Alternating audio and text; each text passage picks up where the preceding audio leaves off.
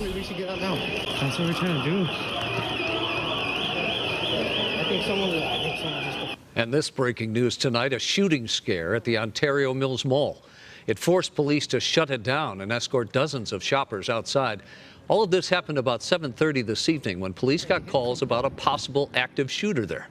First responders rushed to the scene. Shoppers were reportedly sheltering in place at the time. Once police got there, they found no evidence of a shooting, though, and believe that it may have been a group of rowdy teenagers that caused the chaos. Still unclear exactly what they were doing, but as of tonight, nobody was hurt, and the threat, we understand, has been cleared.